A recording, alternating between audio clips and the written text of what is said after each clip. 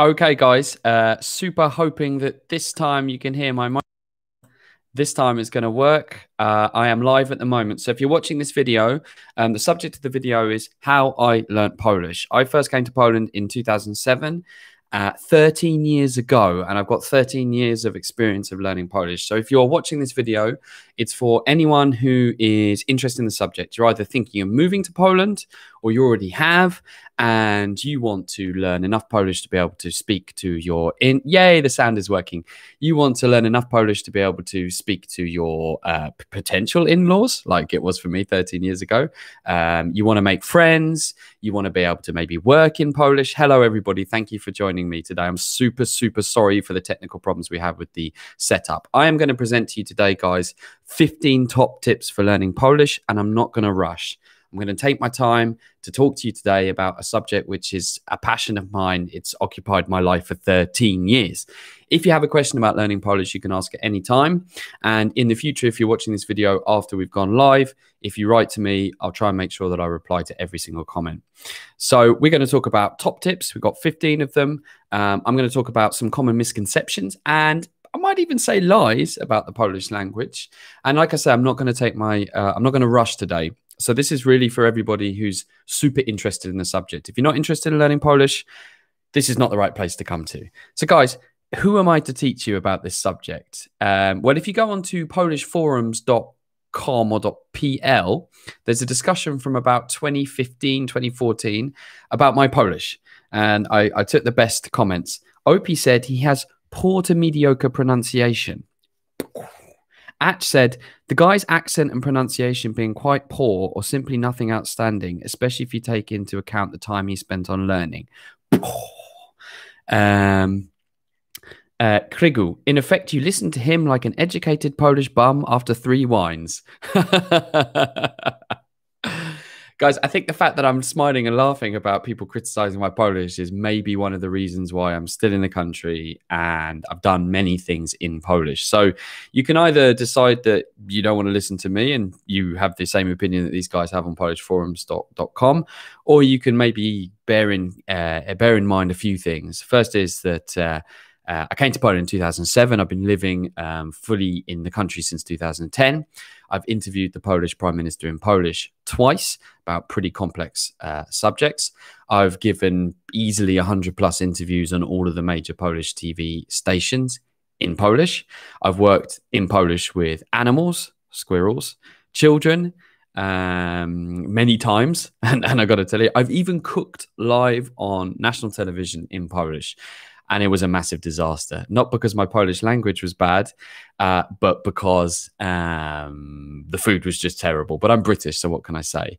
Um, I passed the Polish exam at B2 level, which is intermediate advanced, I think. And I've worked in several different Polish companies in Polish. I currently run a business in Polish. So I don't pretend to be the world's best Polish language speaker. Okay, that's not what it's about. If you're coming to some speak some speaking expert, that's not it. But I think if you look at what Polish forums people said about me and what I've achieved since that time, maybe it's worth listening to me. Um, guys, uh, somebody's already written, you're too much educated. Just to let you know, I don't make any particular claim to be some kind of super linguist. I'm not one of these loser polyglot guys who goes on about how they've learned 55 languages and they can speak fluently. That's not what today's about. This is, um, I'm going to give you 15 top tips um, for normal people. Okay, I'm a perfectly normal person. Um, I will quickly just tell you about my journey. So I came in po- to Poland in 2007 and I met my ex girlfriend's, you know, my ex girlfriend's parents, and they didn't speak English. And this is a common, um, this is a common challenge. By the way, guys, if you've got questions for me, you've got 25 people watching now. I'm super, I'm super happy that you're with me. Grzegorz, Trump 2020. Grzegorz, nie na ten temat, mój drogi, okay? Dzisiaj mówimy o czymś innym. Um, I came to Poland in 2007 and like many foreign people, it's a very typical journey. I couldn't speak to my in laws. So we had gestures. That means beer, sleep, food. Mm. And of course, I learned a few words, but proper communication, no chance. Uh, I then started coming to Poland to uh, sing. I played in a band with this group, so they didn't really speak English either. So I was kind of the odd one out. I've gone through the very typical process of someone um, falling in love with a Polish girl, then falling in love with Poland, being super interested in Polish history, Polish culture, not really knowing a lot about it, and coming to um, Poland in 2010. So for the last 10 years, I have um, been learning Polish, living here, trying to land on my own feet. And I've done all those things that I've talked about. And this year, I became a Polish citizen. So the Polish prime, uh, president has given me Polish citizenship. It's a little different. Kind of proud about that. So, guys, I'm going to give you um, some tips. Uh, we've got people talking about Trump here, guys. This is not the subject. So I'm going to give you 15 top tips, and I'm going to talk about each one um, in uh, in detail. We've got Jess here. I'd love to learn Polish for a love John. one. You know who I'm talking about. Absolutely. Uh, I don't want to let him down and feel like I'm failing. There's some what pressure when when I struggle. Uh, Jess, you've actually immediately touched a super important point I want to talk about. The number one reason why your Polish will improve doesn't matter where you are right now, whether you don't know anything, started learning a few words, had your first classes, bought your first Hurra po Polsku book. The number one reason why your Polish will improve is your mindset. So a classic thing that people say when they come to me is, "Hey, Paddy, uh, I'm learning Polish. It's so hard. Or the Polish language is the hardest language in the world to learn. How am I going to do this? So the words we use have meaning. And if we come with the approach that this is super, super hard, then we will treat it as super, super hard. If we enjoy the, the beauty of learning a new Polish word, oczywiście, łabędź, uh, you know, if we just roll these words around in our tongue and just drink them like we would a decent wine, well, that's a very different experience. If I sit there looking at a Polish book and go, this is so hard, I'm never going to do this, then what we say becomes true. So, książ, książ, people are like throwing difficult words for me right now. I think treat it at the start as an accumulation of beautiful new words that are going to challenge your tongue and your palate and your lips. And guys, one of the things I've only learned recently is just how demanding it is because the Polish words and, and letters come from different places. So, guys, I wasn't even planning to say this, but one of the top tips you can do is learn about how you make vowels and sounds in your mouth because that will actually help you pronounce Polish better. But that's kind of like getting way ahead of myself. So, think now this is my first top tip. Think now about the way you talk about learning Polish. Are you the kind of person who says, this is super hard. I'm never going to do this. Or I read an article which uh, which says it's one of the hardest languages in the world. Bull! No, nie mogę tego powiedzieć po, po angielsku. That is totalne gówno, okay? It's just absolutely ridiculous. I'm going to talk about that now because this is directly related to mindset. Um, if you see and you Google on the world, Polish people will tell you Polish is one of the hardest languages in the world to learn. Okay, let's think about that. If I'm Chinese, is it hard? Absolutely, undeniably. You know, completely different vowel sounds, different alphabet, grammar structure, everything. If I'm Ukrainian, is Polish hard? Still hard because learning all languages are hard. Uh, Grotto PL, Polish is very hard. I disagree. Polish is like many other languages. Some are more complex, but others have, you know, Polish, for example, what can we say is Polish? Polish is phonetic. So that whole problem with English uh, not being phonetic completely gone. Um, Polish actually has quite a logical series of grammar structures. It depends where you come from. Um, Adam Byrne, do you recommend living in Poland will help learning? Absolutely. We're going to talk a little bit more about that later. Guys, I'm not rushing today. I'm going to really try and talk as much in as much detail as possible uh, about learning Polish today. So, depending on where you come from, Polish will be more or less hard. Polish is not one of the hardest languages in the world to learn. And I'm not just saying that because I've learned a bit of Polish and I'm trying to show off. That's that's not what it's about. I have literally the t-shirt saying I learned Polish I learned Polish this is my superpower. But think about it like this way yes, some pronunciation will be hard, but Polish is phonetic. So once you learn, I mean, the pronunciation is just the first challenge. If you think that pronunciation is one of the hardest things in Polish to learn, you have no idea whatsoever. As I have learned all the cases, for example, in Polish, and I remember the first time in the first class in the UK in London, when our teacher explained to us mianownik, the nominative case. I was like, what? The case? What does that even mean? Because we don't think about this in Polish. As I've grown and learned all of the cases, I just see them as so obvious now. And this is the whole point. When you are learning something for the first time, you don't know what you don't know, and everything seems impossible. As you step up a level in learning, you become consciously incompetent. In other words, you know what you don't know. And that enormous, huge mass of things that you don't know seems foreboding. Guys, the simple approach is this don't look at the mountain that you're climbing. Just look at the hill that you're walking up right now. Just look at the next word you have to learn. Just look at the next day, the next class, the next week. If you only focus on the task you have in hand this week, and you stop thinking and telling yourself that Polish is absolutely the most impossible, most difficult language, you stop uh, listening to Polish people because your objective here is not to learn the language. Your objective here is to learn the word that you have to learn right now, the pronunciation of the word, the case that you're learning right now that you're exploring. Um, you just take each of these topics one by one. So pay attention. Tip number one: pay attention to um, the way you talk about the language. And by the way, I'm not saying that I had this straight up, as this is a perspective after 13 years of learning Polish. But I definitely say, if you think Polish is one of the hardest languages in the world, it will be hard. If you think, however, that it's an easily digestible, you can do it. You just have to work at it.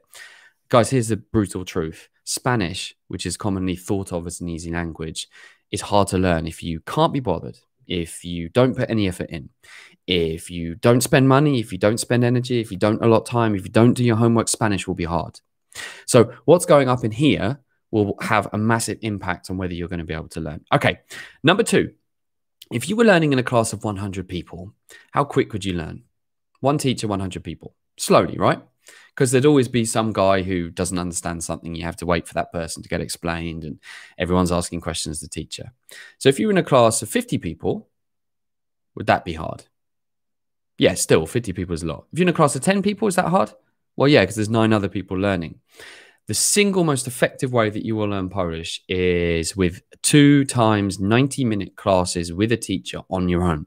Now, fortunately, language learning has gone virtual. So, wherever you are in the world, you can do that. We had a question here um, from Adam, do you recommend living in Poland will help learning? Absolutely, game changer. And the reason why is um, input equals output, which we're going to talk about later. Grzegorz, all Slavic languages are the same. Well, not entirely. Okay. Um, anonymous Satan. Yes, that's true. We get afraid too early. Absolutely. This is about mindset. We're not here to learn Polish. We're here to learn the one word which is ahead of us. Just like any language, Polish has its own difficulties. Tam, to, ten, tam, to, tam, ten. Ben, that is not a difficult part of Polish learning. Loving your comments, guys. Keep on writing questions. Let's avoid American politics or Polish politics. Grzegorz, peace or power. Who cares? Who cares, really? I'm not interested. Um, so, I highly recommend that you do two times 90 minute classes with a teacher each week. Um, this is because if you learn in a class, you'll save money, but you'll go as slow as the slowest member of your class. So, I remember. Um, I was put in a two person class, which is okay, but with a Chinese girl. It was back in 2011. So I had to sit there whilst the poor girl was trying to pronounce these difficult for her words like R, R, the letter R. R is not particularly hard for me to pronounce, but for her it was an absolute nightmare. I'm spending money having to wait for this person to be able to pronounce a letter. So you can find lots of people online, Korepeticja.pl, there's all sorts of different places that you can go. Um, I highly recommend that you think about it, um, not learning in classes, learning with a teacher. The same is also true of homework. Guys, if you don't do homework, you're automatically not pushing yourself further forward. Number three, and this touches on something which Adam has already talked about input equals output. So when I was living in London between 2007 2010, I started doing classes. I wrote to my teacher and I was one of seven guys uh, trying to learn Polish. Seven guys who all sat there when she explained the nominative case to us, which is the first case. It's the most easy case, mianownik in uh, Polish. And I remember the exact reaction, uh, look on everybody's faces. Flipping heck. This is mental. I remember that exact moment. Guys, nominative is so easy, so, so easy now in retrospect that I'm, I'm, uh, you know, I'm like embarrassed to say that I thought it was difficult it's just the word as it is, essentially. Um, so here's the problem. The minute I came out of that Polish class, I had my English language phone out. I went back on the tube. Adverts were in English. I remember looking at the adverts and thinking, I've only learned Polish for this 60 minutes. And the minute I've left the class, I've gone back into English. I went back home and spent time with my English friends, etc. So my learning Polish, if you think about it as input, was one 60 minute class a week. And that's it. So, how much are you going to learn in 60 minutes? Not very much, let's be honest. How much is there to learn? Well, Malcolm Gladwell talks about needing 10,000 hours to master a subject. And let's just say that's that's our rough estimate.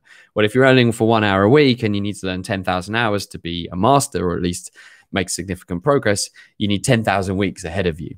Um, I think the number one reason why I am where I now where I am now is because I've moved to Poland. And when I came to Poland in 2010, it was a little bit different. There were no expat groups on Facebook. I didn't even have the internet, guys. This is so embarrassing. I went back to look at my diaries, and one of my problem was I had a little stick and it didn't work and didn't have any money because I didn't have any savings or any, you know, didn't really have regular income. So I didn't have the internet. So a lot of what's available now, like YouTube videos, YouTube tutorials, Facebook groups, um, online learning, wasn't available at the time. But I didn't have any English friends. I wasn't in that environment. I was in a Polish only environment. The TV was in Polish, the adverts were in Polish, the bus announcements were in Polish, the people I was talking to were in Polish, uh, and I was living in Poland, the shop, everything. So, in terms of learning to swim, it was literally the case of someone dunking you in the water. So, I'm not suggesting that you have to move to Poland to only learn Polish, but being realistic, your progress, if you think about it as a rate of improvement, is going to be zoom if you're living in a foreign country. Whereas if you're living in Poland, you're going to go like that. I live in Poland. I've had lessons for three years and plenty of attempts at input from various sources. I can still barely say what I want in a shop, says Vonatar. Okay, so Vonatar, I'm going to give you a whole bunch of tips. I want you to think about yourself. Um, Sidifani Tutai, uh, so, sorry, said it's all about immersing yourself into it. Absolutely agree. Input equals output. Vonatar, I ask you now, my friend, how many hours realistically are you working on your Polish language, even though you live in Poland? One hour? 10 hours? Let's let's come back to that. So, um, number four, understand your learning style. What works for you may not work for someone else. So I used to go around telling people this is the way to learn Polish. And I had a great chat with a guy, Paul Webster. I hope he's watching today. And I realized that he's a mathematician.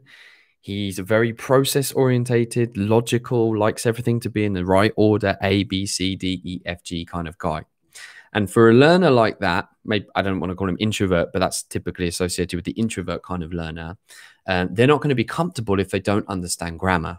For me, I was just happy talking. I had this deep seated desire to talk to people. And um, for me, I was quite comfortable with not really understanding grammar. And I was also comfortable with making mistakes, which is something we're going to talk about later. So, what works for you won't work for someone else. When you talk to other people about how they learn Polish, I want you to ask yourself a question What kind of learner am I? Now, guys, no one teaches us in school nor in university how to learn. We either learn well and effectively or not. So, Vanata, the fact that you're in Polish is probably not the only one reason why you haven't learned Polish so far my daughter is knocking on the door. Um, I'll just write to the wife. Z pukaniem na drzwi. Um,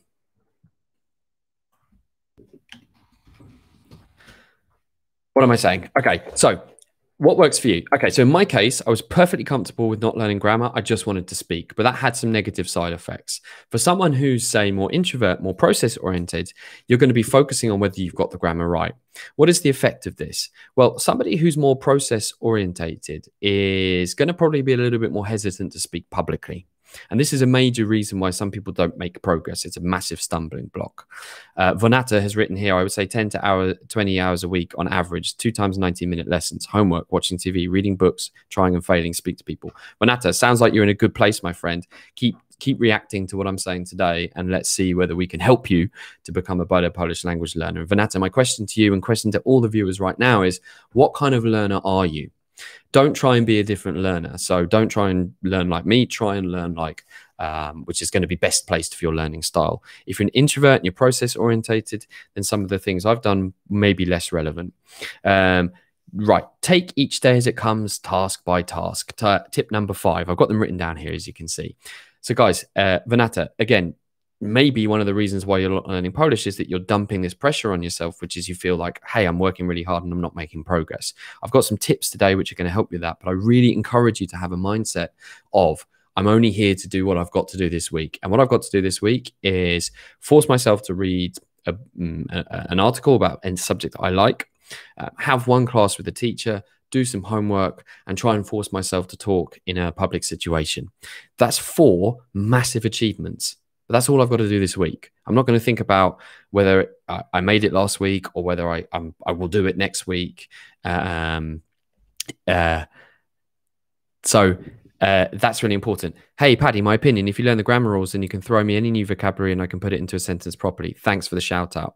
Paul, great comment. Of course, grammar is important. It's not that I learned grammar, but I was super, super, super focused on just saying anything I could try and get meaning across without worrying whether I was saying it grammatically properly. So it's a little bit like if you learn to swim a certain way, it's rather hard for you to unlearn it. This caused me problems later. Guys, I'm now going to admit to you something which is quite embarrassing. At the start of learning Polish, I decided that I would just deliberately mishmash the endings of the words so that people didn't really know if I was saying or something like that. And of course, now it's quite hard for me sometimes with endings, but I can tell you now, I think I raced ahead because I was just moving fast without thinking about the grammar endings. Um, I'm going to show you now one of the things I did. Paul, this is a top tip. Uh, this is my learning Polish language book from God knows when. And here I had the um, here I had different grammar tables that I was creating. Let's see, I want to even see if it's the year. Oh man, this is one messed up book, along with words that I was learning. Uh, Vanata, I find Poles force you to focus on grammar by visibly wincing at mistakes. uh, the way to correct me to Dvar Kieliszki. Uh, and all my friends laughed, sucked. Vonata, I'm going to talk now. I'm going out of, I'm um, going off like my own um, subjects here, but here's something that's really important. And Vanata, I'm super glad that you're on this live, that you've been able to join me because um, I'm going to see if I can put, oh no, uh, no, I don't want to do that. I, I accidentally put Vanata in timeout. Uh, sorry, Vanata. I apologize. oh, God, man, I just timed him out. Uh, I was trying to show his comment on screen. Uh, I'm so sorry. I'm so sorry, dude. I apologize about that. Oops. Okay. Okay. I'm not going to touch the settings anymore. Uh, so Vanata talked about the way people react. And yeah, people will correct you. People will laugh at you. People will find you hilarious people will literally giggle at every sentence you say. And this was true, I'd say, probably for the first few years of learning Polish. If you see this as something um, that's awkward and embarrassing, you're going to basically be discouraged uh, to speak Polish. So, again, this comes back to mindset. This is the first thing that I said about the start. You need to be comfortable with looking like a complete and utter idiot. In fact, guys, you need to like it you need to want to look like an idiot. You need to want people to laugh at you and and you need to enjoy the sensation of feeling like a total prat a total wally. Because things that you knew you should have known you forgot and then the person corrects you and you're in a public place and you can see that other people are laughing at you or you're in a shop. And i remember this vigorously this moment when uh, i'm in a shop i'm trying to order a chocolate bar and i can't pronounce it. Vuvu i can't pronounce it. And i'm saying you know and i've got five people behind me and and it's just ugh, ugh, you need to love and gorge on those moments. Why? Because there's no process of learning which goes well in fact, there's no process of learning which doesn't have mistakes in. Mistakes, errors, um, going two steps backwards sometimes are natural elements of moving forward. Learning a language is one of the most complex things the human brain can do. You will literally feel uh, how amazing your brain functions after going through this process. My memory, recall, things like that have improved dramatically. It's the single biggest intellectual achievement of my life. But if you think about it, you don't learn to swim, you don't learn to drive a car, you don't ever get an exam 100%. There's no such thing as succeeding first off. But we heap so much pressure on ourselves because of all those awkward social moments, whether we're with um, someone we like, someone we care about, whether we're in work. And guys, believe you me, I have gone through the full gamut. I worked in a media agency and I had to pitch to clients and I couldn't formulate complex ideas that would directly relate to us selling a massive project, you know, hundreds of thousands of zloty. And I can feel that my boss, who's hired me to do a good job, is sitting there looking awkward, and the clients, and I'm struggling over words, or it's a, a pitch, and someone puts their hand up and says, I don't understand. People have laughed in my face, all of those different things. Um, I've loved it. And you know what? One of the reasons why uh, I've got to where I have and all the things I listed at the start of this video is because I've realized that all of those times are ding, not steps backwards, they're steps forward. every single time that you're in that situation, you're pushing yourself further forward. So let's think about the exact opposite. If you're the kind of person who looks to avoid mistakes, you're ashamed of mistakes, you're embarrassed looking stupid in front of other people, um, you have some form of ego problem or self esteem issue, which means that you don't want to look stupid in front of other people, what will you do? You'll avoid making those mistakes. You'll avoid putting yourself in those situations. You'll avoid putting yourself forward. They ask you to come and do an interview. They ask you to come and do a speech. They ask you to come and do a pitch. You want to try and try something new. And your reaction will be, I'm not going to do this to avoid this difficult situation because I don't want to look stupid. So, guys, I've explained a little bit more about mindset. I've hopped from topic to topic, but we've got some really nice um, comments here. Had an interesting comment from Organic Organist. What a good work opportunity in Polish for an English speaker who knows Polish decently. I'm not going to answer that question because it's not specific related to learning Polish. But Organic Organist has also said making mistakes teach you humility. Um, most of the time, it's easy to laugh it off, but sometimes I can't force myself and shut in. Organic Organist, I encourage you to want and love mistakes. And here's my next tip, my guys. When someone corrects you with your Polish, don't say sorry. Acknowledge the feeling that you feel stupid and force yourself to say thank you and force yourself to be grateful for the mistake. Because every time you make a mistake, you're not stepping backwards, you're stepping forward. This one mindset change is unbelievable, in my opinion. And of course, you can also treat this um, with you know any language. These are all universal principles.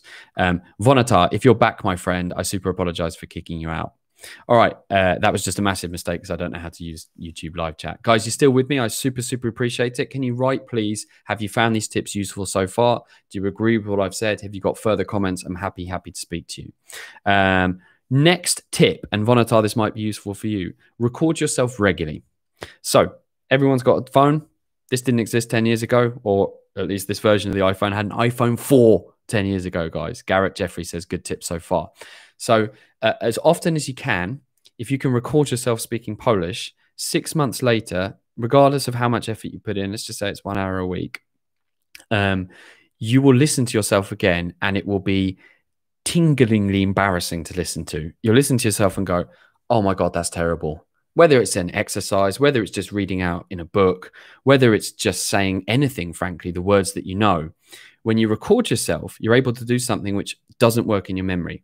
Because in your memory, you don't see the progress that you've made. When you record yourself and you listen back, you go, boom, holy SH1T. I spoke such bad Polish. I went back in my diary, guys, and I looked at the way that I was spelling Polish phonetically as far as I knew it. And it was horrific the mistakes were just so embarrassing. You could see that I had no idea. And I love it because, of course, that means that you're learning. Um, so, guys, think about the mentality. I come back to this. So, every week, every couple of months, record yourself, record the words. And since I talked about recording, one of the most simple things that you can do right now, this book is almost, it's falling apart so horrifically that I'm almost, it's like a sacred object for me. Uh, let's go into this one. Ah, yeah.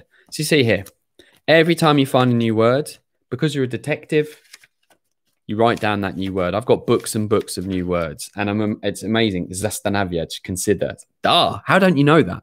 One of the great things about um, language learning and learning any new skill is, guys, that as you move from consciously incompetent to consciously competent, and then unconscious competence, which is where you're not even thinking about it, the things that you've learned seem to be so obvious and ridiculously easy that you're surprised that you didn't know it.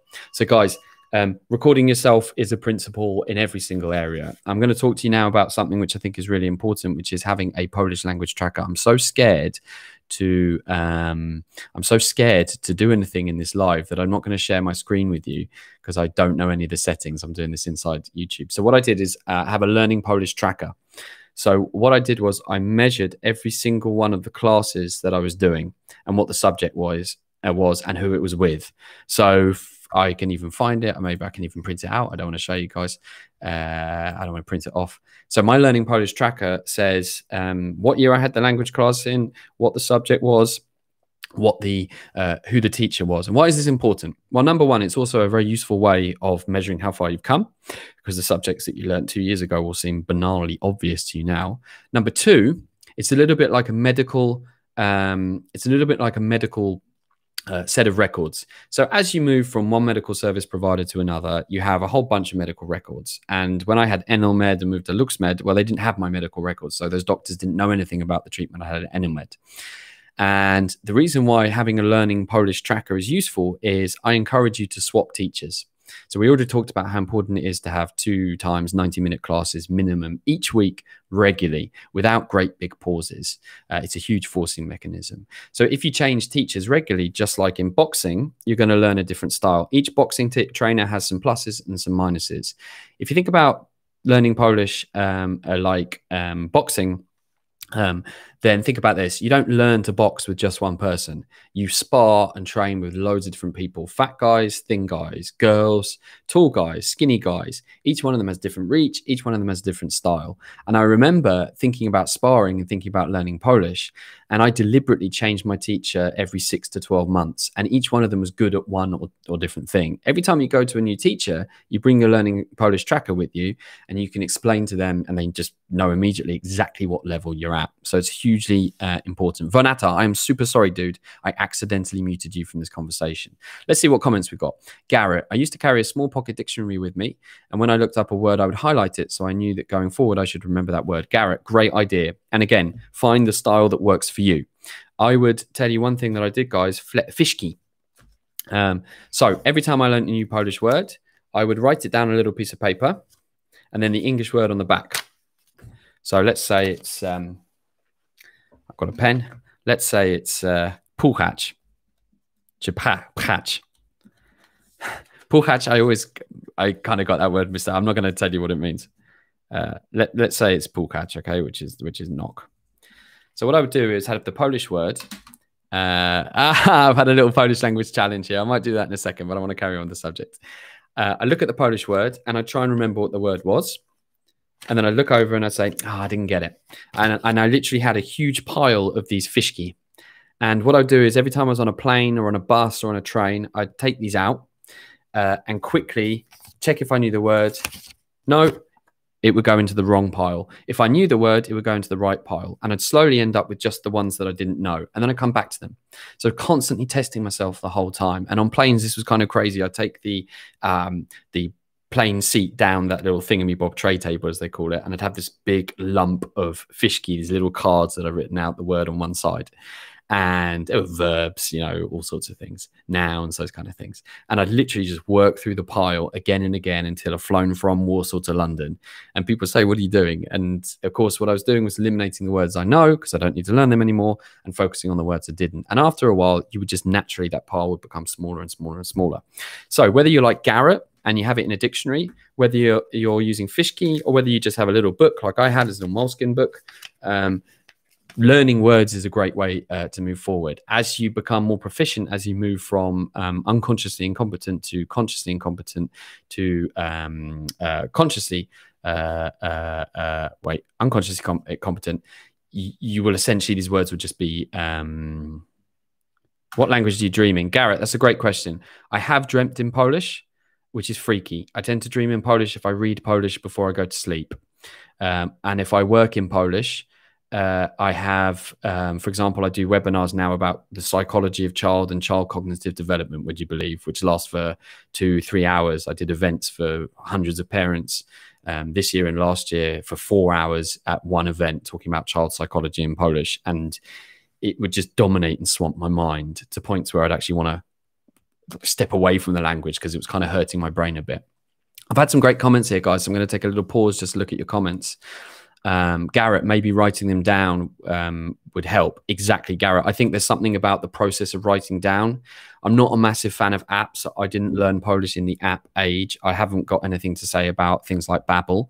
Um, Vonatar said I put new words in my Fiszki app, but then I forget them a week or so later. Vonatar, again, we think about there's no process of learning which doesn't have failure in. So again, are you focused on how you're not learning because it's hard, uh, because you forgot a word that you should know? If you have this approach, you will inevitably be disappointed with yourself.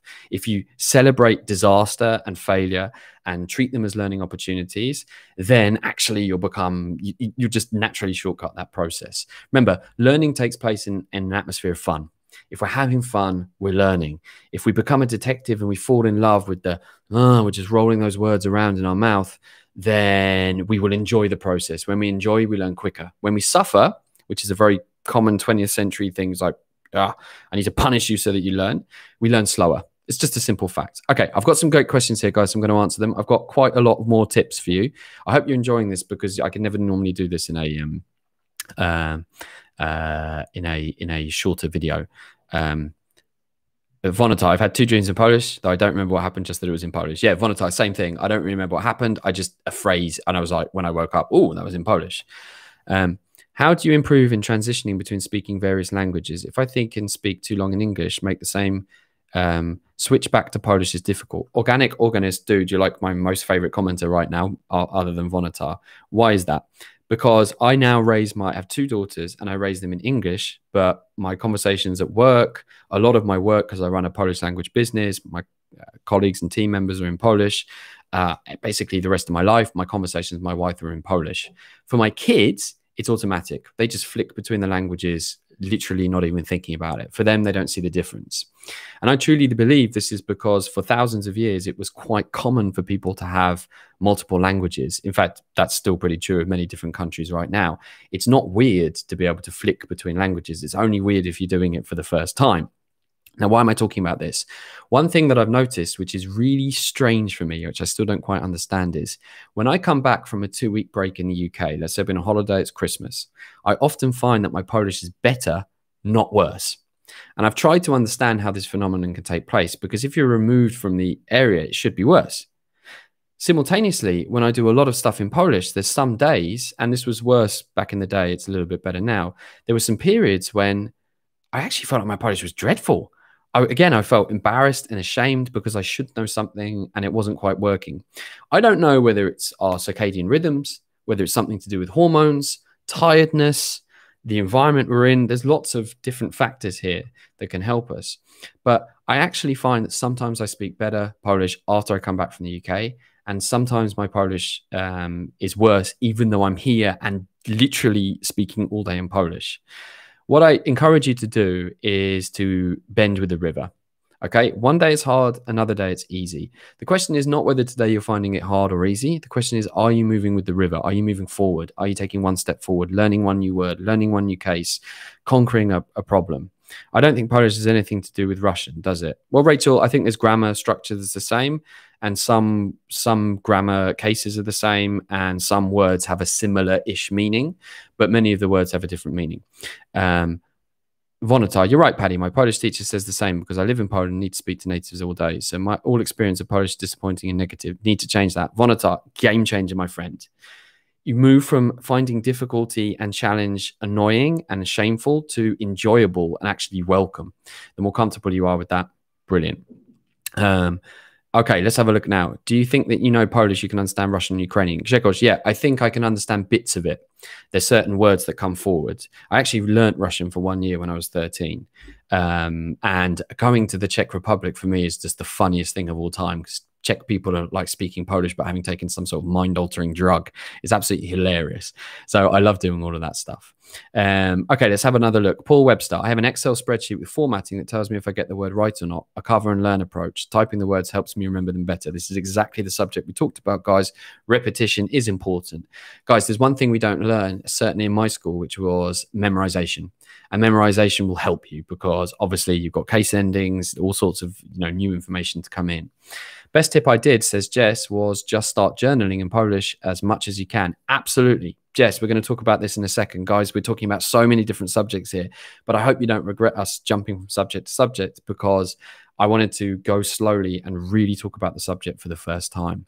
Um, so, organic organics, coming back to your question, how do you improve in transitioning between speaking various languages? It can be clunky, but let me just tell you something. I was filming in English yesterday, and when my mind was running at high speed, Polish words were coming out of my mouth. When I go home to the UK and I'm in the pub with my mates or speaking to my family, Polish uh, transition words like czyli or ball or nawet. Uh.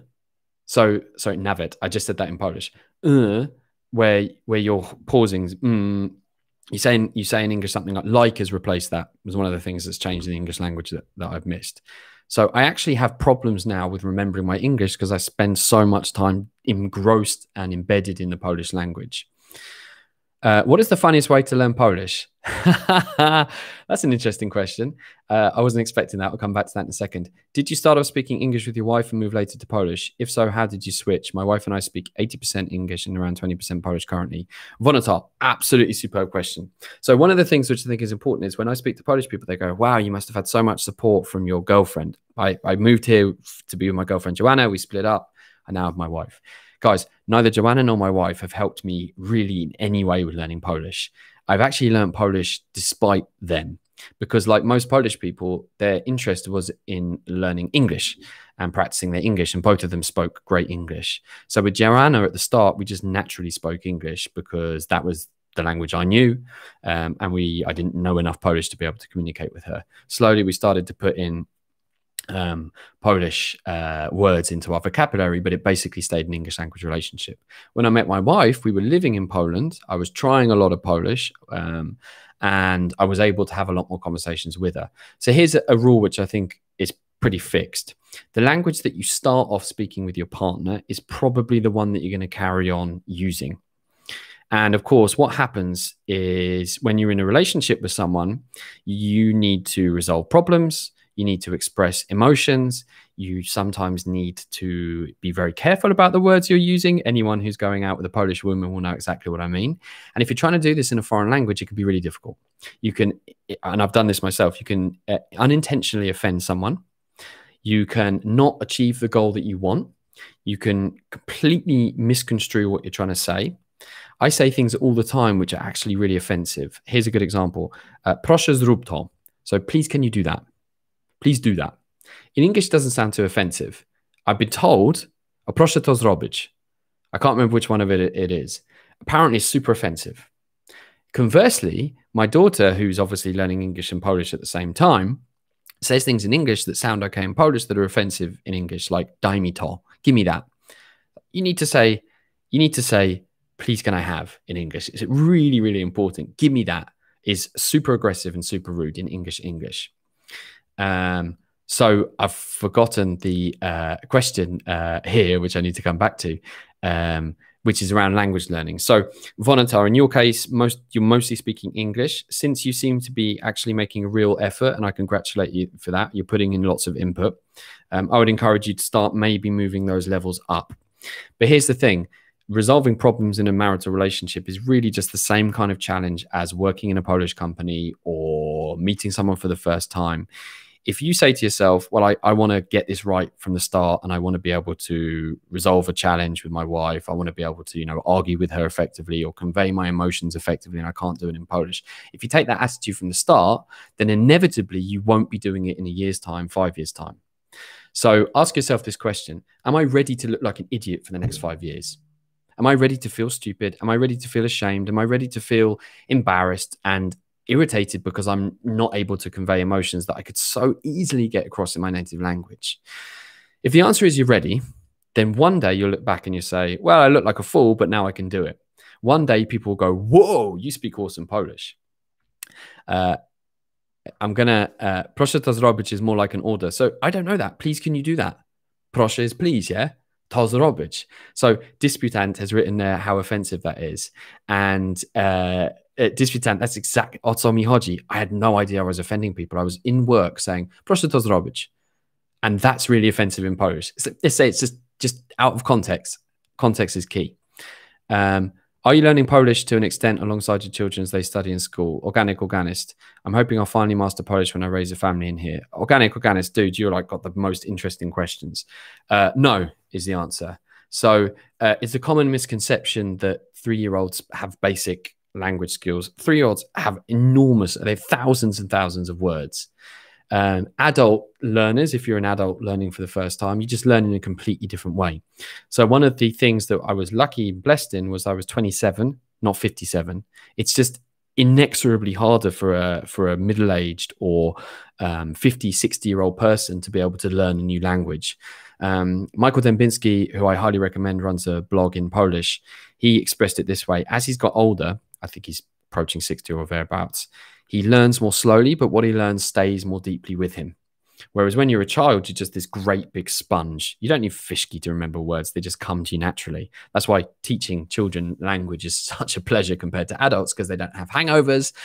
Uh, they aren't tired, they're not knackered, and they haven't got a whole bunch of other problems in their heads. They just love learning.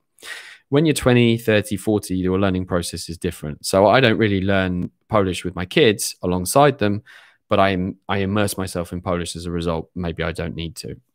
However, one thing I can show you, for example, organic organist is um, when we uh, watch. Um, oh, we're going to talk about that in a second. When I read books, for example, we have a whole bunch of kids' books. Some of them in Polish, some of them in English.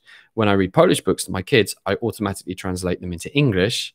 And that's interesting in itself. So again, remember, input equals output. If you're reading a book to your children, you can translate it back into um, uh, English. If you're watching Netflix, and it's in Polish, turn off the English language subtitles. Push yourself forward all the time. Guys, I cannot emphasize this enough. I called it total war. From morning to evening, put as much Polish into your mind as you can. For Jess, it's um, journaling. She's living in the UK. For Vonatar, it could be increasing the amount of words that you have um, uh, that you're using with your or the amount of conversations you have with your in Polish. I'm going to give you one more tip, guys, um, around immersing yourself. I was working at the, Brit- the, the British Embassy in Warsaw. Most of the employees were uh, Polish, so actually the day-to-day conversations were in Polish, but obviously the official language was in English. It was the absolute ideal place for me to learn because I was um, I was uh, basically in a Polish language environment, but I could still work in English. And I did one thing which I think was really important. On Fridays, I had Tylko po polsku days. So these were days where I would only try and speak to Polish. Everybody knew about it. I printed off a little badge and I walked around. And I can tell you guys, we had so many work conversations where I was standing there going, um, Chcę, uh, chcę, uh, this, wyślij email uh, to uh, Sostam, Sostam, and and literally not getting it across. And the other people around me were so patient, waiting for me to try and finish the sentence, not interrupting, not telling me what I was trying to say. And I was blessed by that. I was also blessed because they gave me um, Polish language classes for free as part of my um, as part of professional development, which was super super helpful.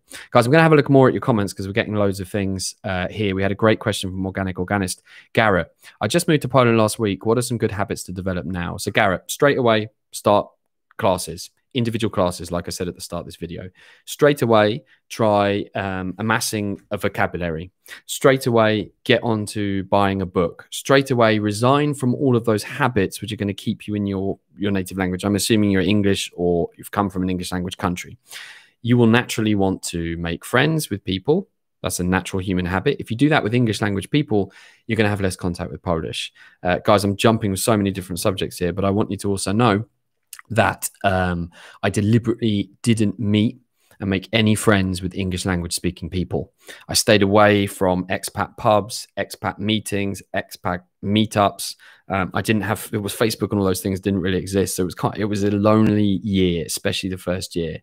Making friends in Poland in Polish when you barely speak the language is also really really difficult. I, I was part of a, uh, this music group. We were touring around the country in 2011, 2012, and they were speaking rapid fire slang, 20 year olds basically speaking Polish. And I'm sitting there on the train with them going to, the, and I, and I don't understand a word. And I felt lonely and sad and, and it was awkward and painful and horrible. And I didn't appreciate how amazing and fantastic it was at the same time because I learned slang words from them that most Polish people didn't even know. And again, it's all part of this mindset thing, guys, which is putting yourself in the awkward position. So, Garrett, more than anything else, immerse, immerse, immerse, and stay away from people and habits that are going to keep you away from doing that. We're getting some amazing questions, guys. I'm really super grateful for um, all of your input. I'm going to carry on going. This I want this to be the longest, most in-depth session that I can have. Get all of the ideas that I have across learning Polish. Um, Jessica, I aim to be speaking fluently in Polish when I will become your age. Jess, this is actually one thing I didn't talk about, which I'd like to at the start, which is have a have a goal. Absolutely, I've said ignore the mountain, but at the same time, think about where you need to be. For Jess right now, living in the UK with a Polish boyfriend, one of my dear friends, Maleki Wieszkiewicz, learning just enough to be able to hold a basic conversation with Marek's parents would be boom, awesome. Learning just enough to be able to buy something in a shop when she comes to Polish, boom, awesome. If she is seriously thinking about moving to Poland, Jess, we invite you to come and live in Warsaw, my friend. Um, then clearly, to work professionally, you will need to speak a higher level of Polish. Maybe I'd like to talk about this in a second. We've had a few questions about how to survive in Poland. Um, times have changed since I moved to Poland, but one of the reasons why I was so deeply obsessed and fascinated and immersed myself so hard was I was very aware right from the start that this is no country for English language speakers. Times have changed. It's easier now because of the internet, because of marketing and Polish companies going global. It is easier now to live on the surface, gładko, jak się mówi, um, and and basically not be in Poland. I just think that's such a tragedy, guys. I had a conversation once with a lady. We were in Lidl, and she had a whole bunch of chocolates and chocolate yogurts and things like that. And I don't know why. Uh, I come because I'm that kind of person. I said to her, "I see that you got a lot of chocolates." And she turned around to me, and I don't know whether she thought I was a foreigner or not. She said to me, "Yeah, the reason why I buy lots of chocolates is that when I was a child, I couldn't get any. So now I live in a free Poland. I buy them whenever I want." And it hit me. I was so profound. I was like, "Flipping hell." try not to swear. I had I come from such a different culture and experience. I had no idea that this is a mindset, this is an approach to life that so many Polish people must have. That their childhood they were so denuded and denied things that they could buy more of the sweets and chocolates that they want now. And I never would have been able to have that experience and a million other experiences, like interviewing the Polish Prime Minister, meeting former Powstańcy Warszawskie, so people who fought in the Warsaw Uprising, and being able to talk to them about the weapons and the conditions they were in in Polish, and all the other amazing little micro moments that make up those moments of gratitude where you think, I am so grateful for learning Polish for my own intellectual purposes. I'm a better person as a result of it. And I feel like I know this country. But I do also want to warn you guys, which is learning Polish is not the only way to learn Poland. There's places I haven't been in Poland. There's a zillion books I haven't read that I want to. Just because you learn enough Polish to be able to buy stuff in a shop, order something in a restaurant, doesn't mean you know Poland. In fact, Christian Davies, the son of Norman Davies, who doesn't speak as good Polish as I do, um, actually I think knows Poland better because he's Norman Davies' son, obviously, but he's he's um, he's actually just just understands the country better. He has his own point of view. I don't necessarily agree with everything he says. Um, but uh, this is one thing which I think is important. Just knowing Polish isn't enough to know Poland. Okay, I'm to have another look at some more uh, tips. Jess, Netflix tip. True. I was watching Shrek 3 in Polish and I learned Tędy panowie. yeah, exactly. Jess, this is what I love. You know, for me, oczywiście. I just said that word over and over again for about a year. Then I replaced it with something else. M remember, guys, learning each Polish word is like drinking a fine wine. Roll it around in your mouth, enjoy the sheer sensation of saying it, and after a while, move on to tasting something else. Kamil V. Just immerse yourself in a language as much as you can. Absolutely, Kamil. Couldn't agree more. Vonatar, yeah, I know what you mean by loneliness, Paddy. Increasingly feel like giving up and returning to the UK. Vonatar, I totally understand you, dude. And I don't want to say, don't do it. It's not the right thing. Um, there were many times when I thought about it, but I'm so, so glad it didn't for lots of different reasons. And when you leave in a different country, you go, you know, you don't know what your life would look like. I have no idea where I'd be now, but I know I'm in the right place for me as a person. Um, Vonatar, dude, you sound like you're doing so many different things right that if you focus on your mindset, you will make big, big uh, improvement. And organic organist, one good trick in learning languages is reading your favorite books, which you know well in the new language. Boom, dude, super tip, guys. And here's one thing I want to talk about. So many of us, when we get to a certain level, let's say intermediate, think we need to be learning Sienkiewicz or Charles Dickens. When I see people reading those books on the bus, or they used to anyway before the phone, I'd be like, oh man, don't do that. Read the subject you're interested in. I didn't read enough Polish um, when I was learning the subject, and I only later appreciated just how amazing reading can be to force you to learn new words. Um, and I deliberately started reading books by basically like geezer books. So books about crime like uh, Massa, Massa, um, uh, Pieniądze w Mafii, coś takiego. I can't quite remember what it was called. uh, Ivan about footballers in the 80s where they get drunk and get hammered and have fights with militia and these kind of things. Uh, not because they were technically challenging, but just because it was easier. So sometimes bending with the river means that you need to um, go as quickly as possible. Michał, do you write in Polish? Yes, I do. Um, writing is the last skill, in my opinion, that you will acquire in your learning. It's also the last thing that teachers seem to focus on. I make uh, an F ton of mistakes in writing Polish, but I've also written pitches for clients, um, quite long amounts of text. I'm writing a conspect for a book right now, biographies of myself, quite a lot. So it's the same process. You start off making a zillion mistakes, and then slowly, slowly get things get better. I don't think I'll ever probably achieve um, a mastery of, of Polish to the point where I'll be able to write without any mistakes. But I will um, say one thing, guys, like just health warning. I don't consider myself an amazing Polish speaker. I've learned to a certain level. I've appeared on national television. I constantly wait, and this is the imposter theory. This is the imposter feeding of someone saying, like, dude, you don't know what you're doing. but nobody ever seems to say that. So I just carry on.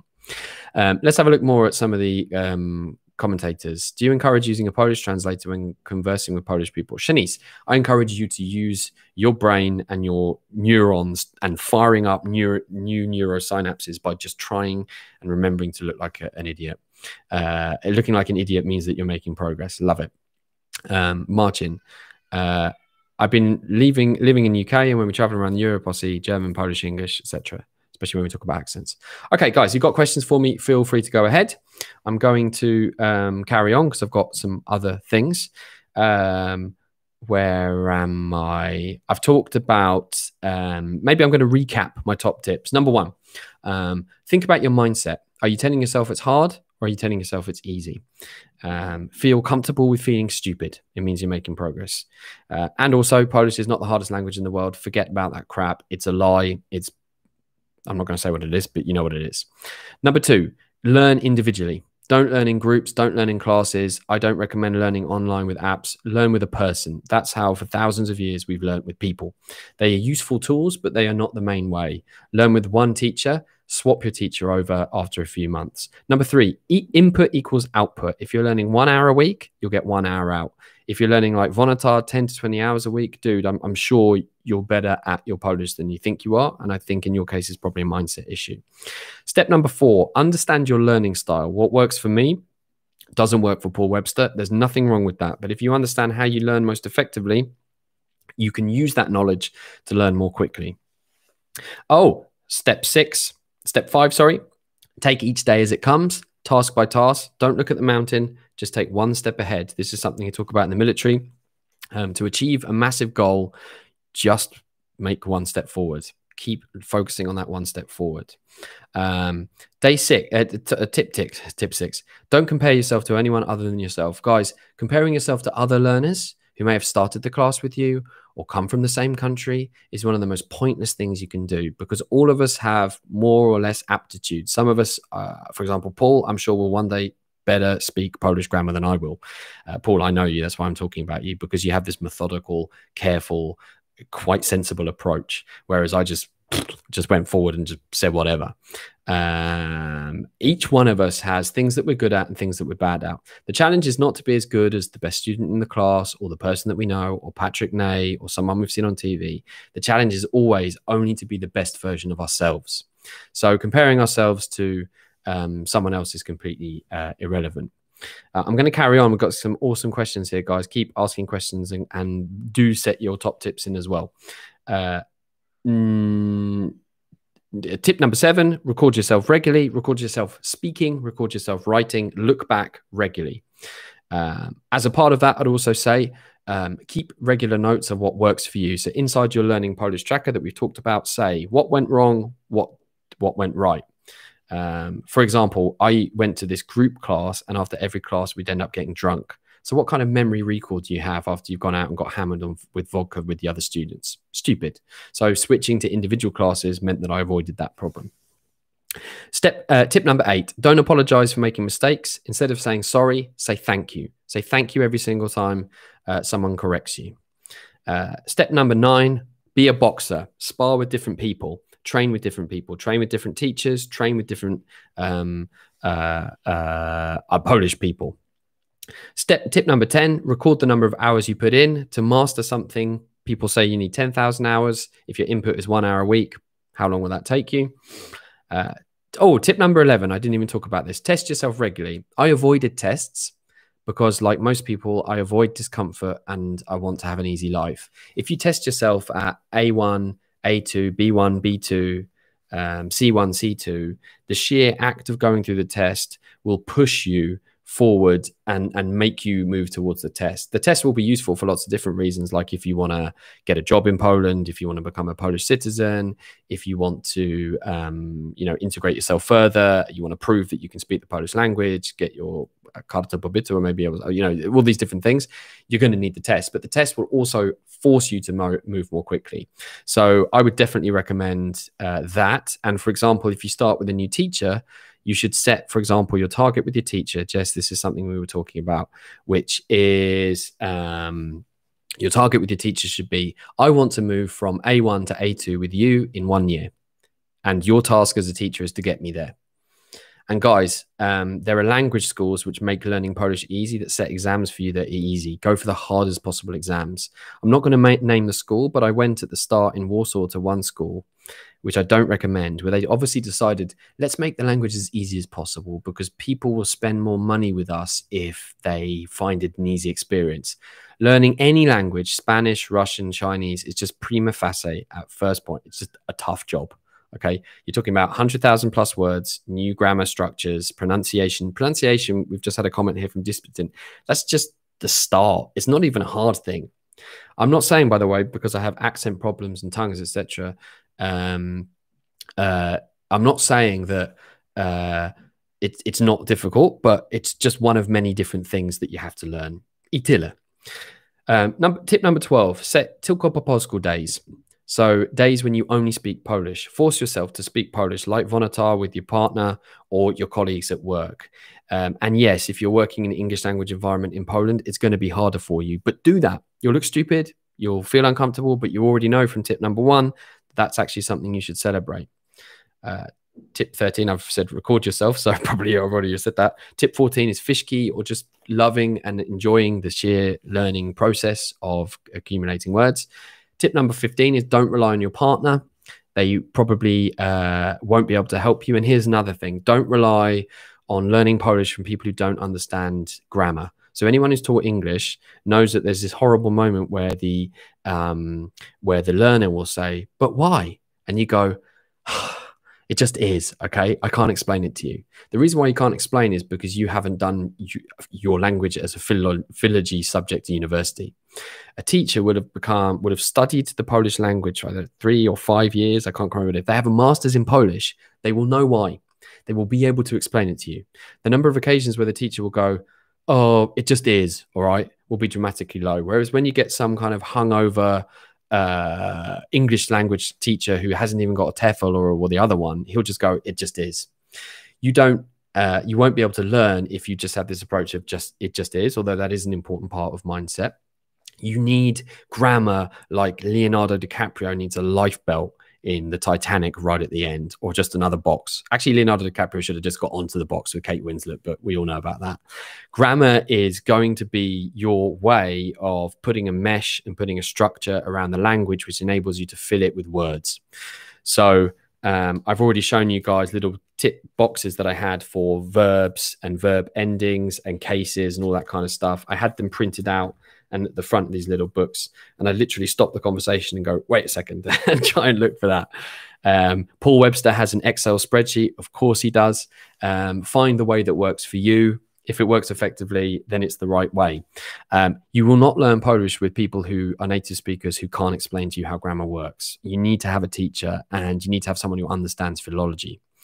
Um, step number 16, definitely around books uh, and making sure that you're learning from a book. So again, if you're trying to teach yourself, you will go more slowly than if you're working with a boxing instructor who's got the best equipment, who trains you twice a week, where you train with other partners. I think there's lots of different take crossover from other branches. Guys, I haven't touched on quite a huge bunch of other things that I wanted to talk about today. So I'm going to have a look at uh, uh, I'm going to have a look at um, some of the different comments that you've got here. Uh, Vonatar talks about how you naturally pick up on mistakes and how things become so obvious after a while. Vonatar, I think this is a great thing. This is there's a there's a way of expressing when you learn a new skill. When you don't know anything, like most Polish languages for the first time, you are unconsciously incompetent. You don't know what you don't know. As you start to go through the process, you become consciously incompetent. In other words, you start to realize, whoa, this is so much to learn. I, I, I can't do this. As you start to become more confident, as you start to push yourself through, you become consciously competent. You'll need to work hard at it, but you'll be doing a good job. There's the fourth level, which Vonatar, you're at, my friend. So let's let's praise where you've got right now, which is where you're unconsciously competent. You're not even thinking about it. And that's where you are when you're a native speaker. I'm un- I'm unconsciously competent in speaking. I'm not, I don't even think about. I have no idea what Polish grammar is. I've completely forgotten everything that I've learned, um, and that's the moment where you're not even thinking about what you're saying when you know that you've reached that level. Um, and that's one of the reasons why people say, "Oh, you speak such great Polish to me," or even a couple of amazing things. I had this last week. I had a hypnotherapy class last week, guys, and after a little while, the lady said, um, "I don't know." Uh, she she was kind of doing the hypnotherapy in Polish, but adding in this English stuff. And I said to her, you don't need to, you don't need to add in this English things in Polish. And she said, oh, I just don't know which language you learned first. Was it English or how much Polish they spoke at home? And I was like, no, no Polish. I, I, I wasn't, I don't have Polish parents or anything like that. And she went, what? Uh, and, I, and, I, said, yeah, I, I came, I came to Poland. I learned Poland when I came here. And she said, well, how old were you? And I said, 27. She goes, whoa.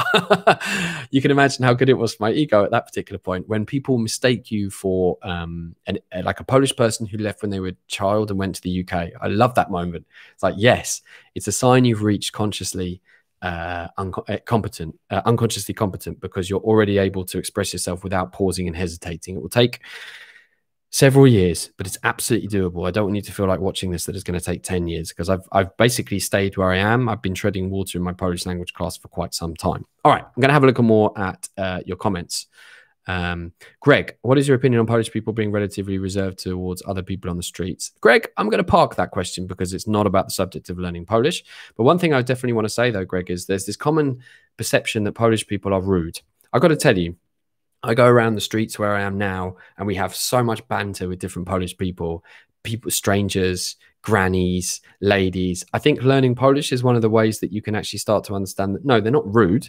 They may stare and have less smiling, but the minute you speak to them in their language, completely different exp- experience. And when they are um, maybe not so keen on talking to you or a little bit reserved, etc., it could just be because you don't have the tool to be able to communicate with them and do the icebreakers that you would as a native speaker. Because there's plenty of people like that in the UK. When I go around, I'm like, oh, I always remember the UK as being such a friendly place. Actually, there's, there's lots of grumpy people as well. But when you speak the same language, you know that one word is going to change that completely, and that's what you can do in Polish. So I kind of answered your question. Michael Mihal says, yeah, change your teachers. Absolutely Change your teachers each year. Uh, organic organist, do you consider your ear trained well enough to hear proper grammar? Yeah, I, I notice mistakes, and from time to time I hear a Polish person make a mistake, but I'm usually thinking to myself, is that a mistake? Again, don't rely on native speakers as the source source of um, your Polish learning. And this is one other thing I didn't even talk about, guys. Don't learn Polish with other foreigners. So if you think about a group of 10, if you're only going as slow as the slowest person, that can be annoying for you because you're wasting your money waiting for someone else to learn something you already know. But what if you were the fastest, i.e., the most effective Polish speaker in the class? Well, you're then learning Polish with nine other people who are worse than you. So, what's the drag effect on your Polish learning? It's obviously high. Whereas if you're with a bunch of Polish native speakers, it's obviously much, uh, uh, you're going to learn Polish more effectively. But bearing in mind, guys, Polish is pretty hard, and quite a lot of Polish people, again, don't really know what they're saying and make lots of mistakes. All right. Polish is not harder, says Disputant, but learning when uh, to use and how to speak je, ze, je, ce, uh, she, en, or, on, en is quite hard even for young Poles. I, I disagree, Disputant. It's just the first rung on an immensely long ladder. Um, Renata Mucha, I speak daily in Polish to my husband, but he never corrects me, so I'm not aware when I speak grammatically incorrect. Okay, Renata, uh, yeah, you need to ask your partner to correct you. This irritates the hell out of me when my wife doesn't correct me. And I'll say something and I'll go, that was wrong. Correct me. Please correct me. I'm like begging for it. Um, Paul Webster, how many years did you take and pass the B1, 2, and B2 exams? So, Paul, I um, only passed the B2 exam. I've got it right here in front of me. Uh, because I was planning on sorting out my Polish citizenship today. Uh, guys, I want to find it. Nope, that's my Akt Urodzenia. I'll just get it here. One of the happiest days of my life. Um, 2014. So I was only learning Polish for about two or three years. This is a common question, guys, which I'm embarrassed to answer now. I was only learning Polish for um, three or four years with teachers. The rest of the time, it's just been book reading, podcasts, conversations, watching TV, reading magazines, reading newspapers, and remembering, for example, guys, I didn't read um, Rzeczpospolita, I read Fakty. Fact to Fakty, I can't remember a fact. Stupid, like the uh, stupid newspaper with really simple Polish in. Start easy, work harder. So, Paul, I lived in Poland for four years and then I took the B2 exam. You're right, Paddy. You know my Polish isn't so bad when I write to you on Instagram. Vonata, I'm not sure who you are, my friend, so I'm, not entirely sure. Kim jestem, Kim jestem. Your lecture is very useful not only with Polish, but with other languages as well. Thank you very much. So inspiring. Also, thank you very much. Uh, Fanny forever. How do you manage with the verbs? Uh, Fanny, I, you know, it's one of the biggest, you're talking about cases. Um, I probably still make loads of mistakes today, but I love mistakes. I embrace them. I cuddle them. I want to crush them up against my mm, mm, mm, more, more, more. The question is not are you making mistakes, but are you making progress? I think I've talked about that enough today. Um, uh, so here we are. Let's keep going.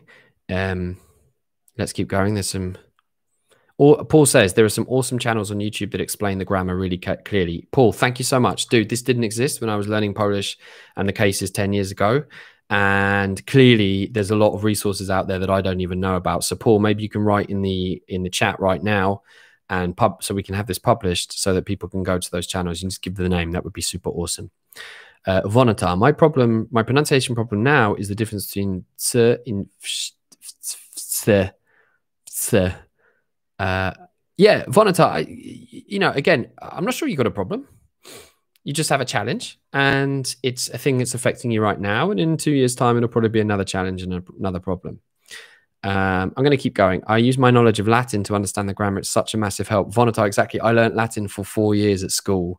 Never thought it would be useful. And I think it may well have played a small part in me understanding later on the cases. That said, I remember when we first learned about cases, maybe 10 years later, and I was completely bowled over when I was 24.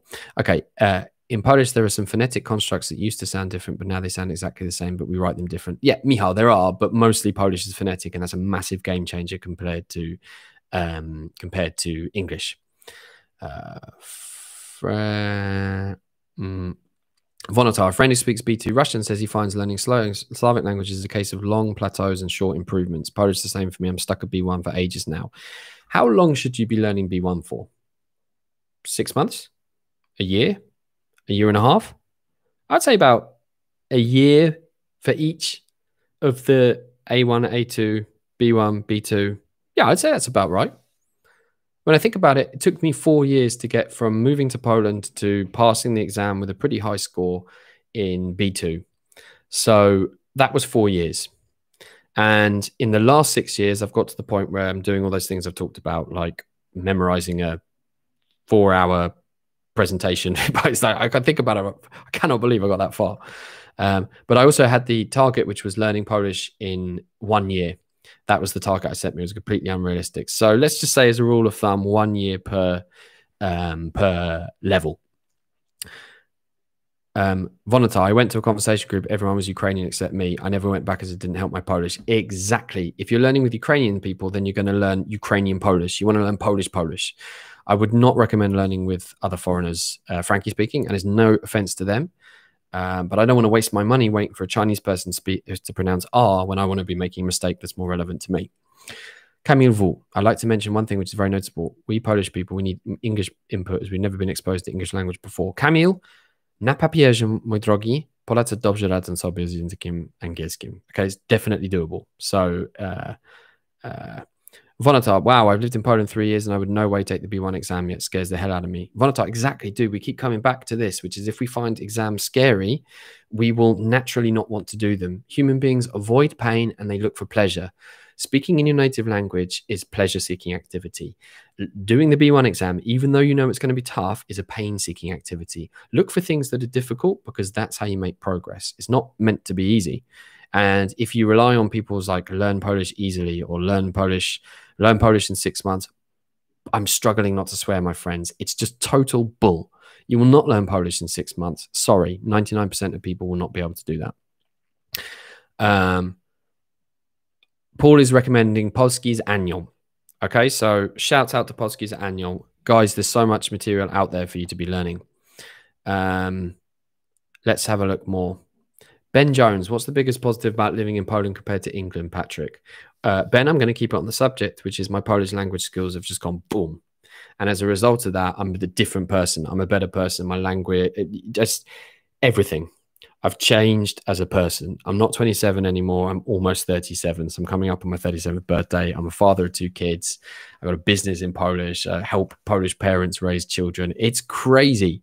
Never would have been able to do that staying in the UK. I recommend it to everyone. If you're young, um, what's what can you lose? What are the benefits of moving to a, to a foreign country? It opens your perspective on you as a person. You will stand for the first time on your own two feet. You will have no one to rely on. No one will be able to help you. All of the contacts, the language, the experience, the cultural knowledge won't not count, but it won't count as much of what you've got up in here. That first year, I talked about it the loneliness of moving to Poland, the loneliness of not having any friends, of being stuck in a little tiny apartment and just not being able to get those creature comforts that I love, not having money, feeling like an idiot, feeling like I was wasting my time, having my friends even laugh at me for even thinking about it, saying, You'll come back so quickly. That made me a better person. Vonata, I come back to this, my friend. We look for pain seeking activities not for pleasure seeking activities. If you want to stay in your comfort zone, stay in your home country. If you want to push yourself forward as a person, learn new skills, stand on your own two feet, um, develop, improve your intellectual capability. Like I say, learning Polish was the absolute single biggest intellectual achievement of my life. You will do that coming to Poland. Uh, Vonatar, it's because my goal is citizenship. So passing that B1 exam is like a huge watershed for me.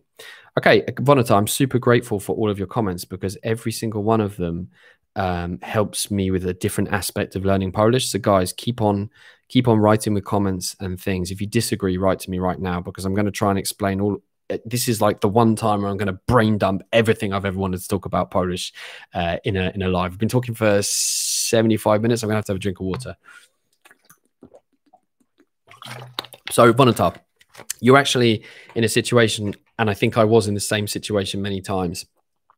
I, I, set myself this goal and became frustrated that I didn't get there, and it became associated with so many different things.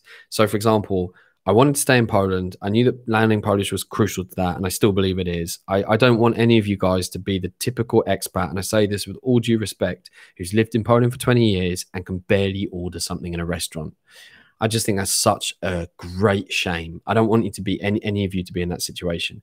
When we attach a huge amount of emotional weight to an outcome, then naturally it no longer becomes fun and starts to become difficult. So we're putting ourselves, and I, I'm, con- I'm conscious that I'm slightly contradicting myself here. We need to be comfortable with being in a painful position, but we need to make it as pleasurable as possible. So again, this is why doing all the tips that I've mentioned today interpreting this against your own language style is going to be um, important. But Vonatar, I would say disengage. You go and do the B1 exam just for the sheer hell of it. If you fail, what do you learn from that failing? Write down exactly what you learned from that experience. If you follow all the tips I've mentioned today, uh, use the two that you're not doing. Just just do the one done do the one or two things that you weren't doing so far. Do the B1 exam, and if you fail, doesn't matter you can try it again in six months. Work on the things that you, you know, if you get with the right teacher, that teacher will be able to tell you why you failed as well. You'll be able to know um, why you failed, and you'll be able to work on the area where you're, I say weakest. I don't mean weakest, where you just need more help and more time and more energy. Remember the words we use like failure and watershed in your case, like the B1 is associated with citizenship, which is this huge life changing moment. I understand. Um, disengage it from that. Just see it as yet another rung to climb on the ladder. Just keep looking at the rung ahead rather than the rung associated with this huge life changing moment for you. Uh, another question How do you force natives to speak Polish to you? Often they hear my accent switch to English, and I have to force them back to Polish. How did you do that in the past? Uh, great question. Nothing irritates me more, nothing makes me more physically sick than when someone tries to speak English to me. I literally have this super deep rooted physical nauseous reaction to it, and it offends me.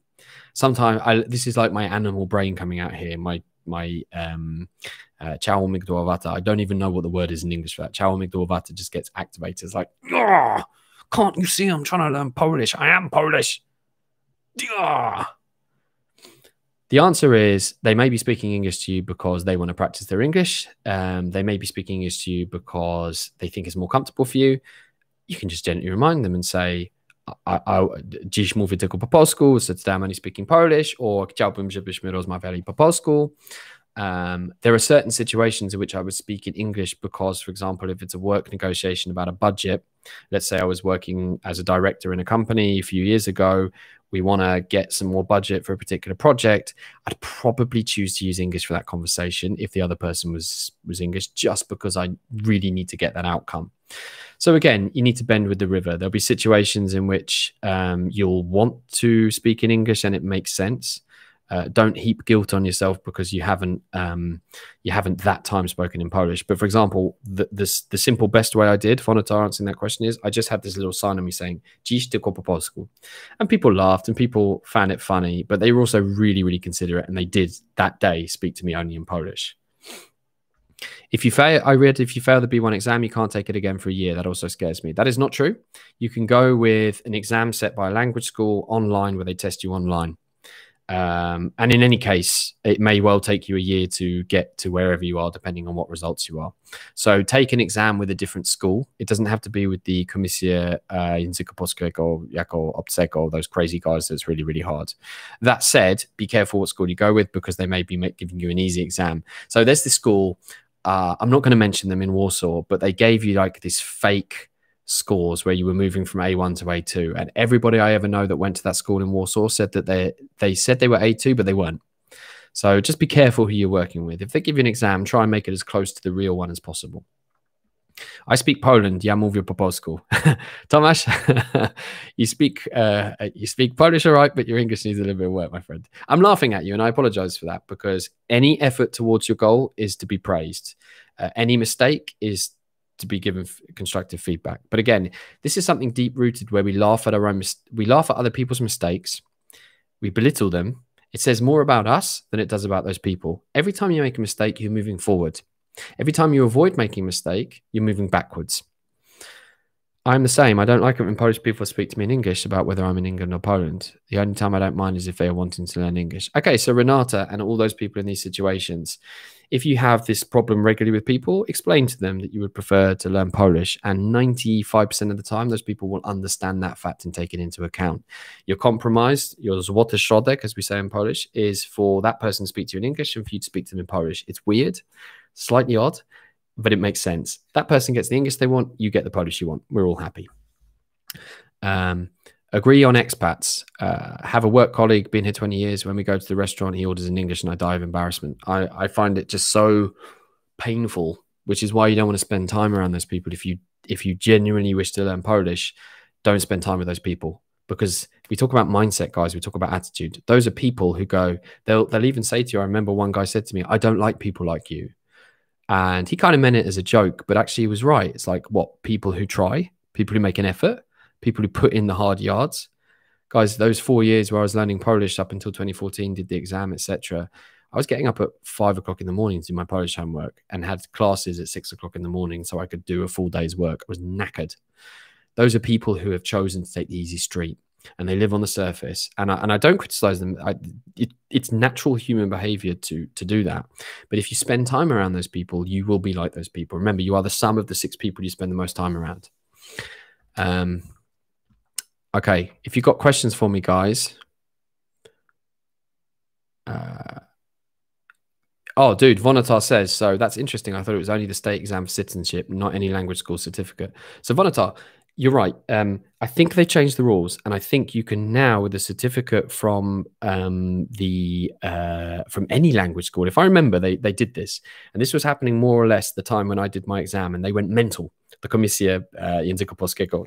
I'll, I'll get it out for you guys. It's kind of uh, it's funny. I may even have the results here. So, is it really hard? I'll talk about the exam. Um, I turned up at this place, and there was one random British guy, i.e., me, a bunch of Ukrainians and um, some really random odd job people from all sorts of different places. One of them was like from Bangladesh, you know, this kind of stuff. And I've never been so stressed in my life. I hate exams. I've avoided them. I talked to you about I didn't do exams at A1, A2, A, A, A2. I, I avoided all that stuff. Um, but I wanted to, um, I can't remember why I wanted to do it, but I just wanted to do it. Let me see if I can find my results. And I, I felt absolutely shattered. It was one of the single most exhausting um, things I've done in my life. And at a certain point, they let us out for a 20 minute break. And I went and sat on a bench and had a Mars bar and a Red Bull. And by pure chance, my girlfriend and her mum just literally walked past me in the park. And they said they'd never seen me look so defeated in their lives. My head was hurting everything was aching. It was awful. I even thought about just walking out and walking away because I just thought I'm never going to do this. And then in the, the second section, we had, I can't find the results here. The second section, we had the um, verbal, the oral exam. And I sat down against these two ladies and I had to talk about segregacja w Polsce. So rubbish collecting in Polish. And I gave them a question at the start. I said, czy chcecie, żebym mówił tak potocznie, czy tak poprawnie? Uh, do you want me to speak um, kind of slang Polish or more correct Polish? And they said, speak how you normally would. And because I'd spent so much time with geezers and lads going to Polish football games and do it, I just said, okay, I'm going to talk like I would talk to my mate. And I went on some rant about how rubbish collecting is dreadful and it's, it's shameful for me to see people picking through rubbish piles and and that kind of thing. I think I, my score was 96% in the oral exam, whereas the grammar was rubbish. And this comes back to a subject which I've already explored before. Everyone is good at some things and worse at others. And for me, oral in, uh, oral Polish has always been my absolute standout best. Grammar, meh. Whereas I think, as I've said before, Paul, who's talked about his approach today and has been a really great participant, ha, will probably end up in the end being a better, grammatically better speaker. Um, so, uh, again, is it hard? Depends where you're best at. There's um, there's an oral exam, there's a written exam, there's a listening exam, uh, and there's a writing exam. So writing is typically the hardest thing for anyone because we do so little writing. I haven't even talked about podcasts, guys, uh, and I highly recommend um, that you listen to podcasts. So here's a super simple way that you can increase your input. We can't afford to do classes, and we don't really want to do classes 20, 30 hours a week. It would that would be a great way to progress, even if we were living in a foreign country. Um, but uh, we can listen to podcasts. So one of the things I did really early on was I found TOK FM, and they had all these Polish language discussions. And again, I didn't focus on trying to understand. I just picked out words and thought, hmm, I think I'm understanding this. And, and again, we're talking about moving from unconscious incompetence to conscious incompetence to conscious competence. And that's the point we're thinking, ah, I think I may understand what this is. And then you get to conscious competence where you're not even listening to it because you already know what they're talking about. Philip Move Your Proposal. Philip, we have done today in 90 minutes a super in depth look at the Polish language. Um, it's been a little chaotic. I've given about 15, 16 tips on how to learn Polish, and we've had a really in depth conversation. Guys, I'm so proud of you for staying with me with this live. And I'm so happy that finally I've got around to doing this. Um, I was I was trying to do this beautiful, perfect, short seven minute video, and then I realized like you can't talk about learning hundred thousand words and ten years of or thirteen years of experience in a six or seven minute video you need to do this uh, long term. So let's have a look. Uh, Mihal, do you have any problems in the UK understanding English speakers use different accents? No, because I'm a native speaker. Um, Philip, Movie Popol School. Good morning. Just woken up on the east coast of America. I've been learning Polish for many years now. It isn't easy, so I respect anyone who's taken on the challenge. Keep pushing everybody. Yeah, man, that's what I like. I like Americans' positive can-do attitude. Uh, Vonatar, my oral Polish is poor, but my grammar is usually 99%. So, Vonatar, dude, we, I think we've identified here for people who are grammatically excellent, you're probably a process orientated, logic driven person. So you'll be more focused in your speech on making sure the words that you say are right. I am uh, vision orientated, details. I don't like detail. Detail bores me. I don't need things to be A, B, C, D. I can jump from A to D, then back to B, then to D, and then to C again. And why is this important? That kind of learner will be talking and making mistakes and feeling okay loving the mistakes. Too comfortable with the mistakes, actually. Like I'm just too comfortable with Polish language mistakes. The process orientated person is going to think out loud. How it's, it's going to think, how do I need to say this so it's correct? Not how do I need to say this so it's understood. Both approaches have pluses and minuses. There's a way of swimming with no technique where you can make progress moving forward but eventually you're not going to become a champion swimmer if you focus on the technique of getting the one that that works. I see this as this uh, short term versus long term. As i've already said i consciously decided to just not really try that hard with endings on cases and just merge them, etc., because I just wanted to get across as much possible as uh, information as possible. Michał, so it's like I do not have problems understanding people from Silesia. Well, accents in Poland are a little bit difficult because of the political turmoil and difficulty that's gone through um, uh, Polish society and Śląsk and all the rest of it. So those accents are, are not as diverse and are not as um, not as crazy as they are in the UK. Um, and typically they come down to słownictwo, so um, you know random words. Papuchki, for example, for uh, japonki czy klapse, czy whatever the hell they call them in, in Warsaw. I know the papuchki from Wrocław because that's where I first came. So that's slippers, guys. And I use that word here in Warsaw. And my wife, who's from Warsaw, Warsaw grandmother, proper Warszawianka, uh, it's like, what the hell's that? so actually, I know words in Polish that she doesn't even know. Um, let's keep going. James, how did you get on with the seven cases when you first started learning Polish that made me want to bash my head against the table? James, I've talked for 90 minutes now about many of these different subjects. So uh, I'm probably going to not answer that question. But yeah, again, James, rewatch this video if you weren't here with us from the start and you'll get your answer to that question. Guys, if you've got more questions for me, I'm happy to stay around now for about five or 10 more minutes. I've been talking literally non-stop now for 90 minutes. So I'm going to just have another drink of water.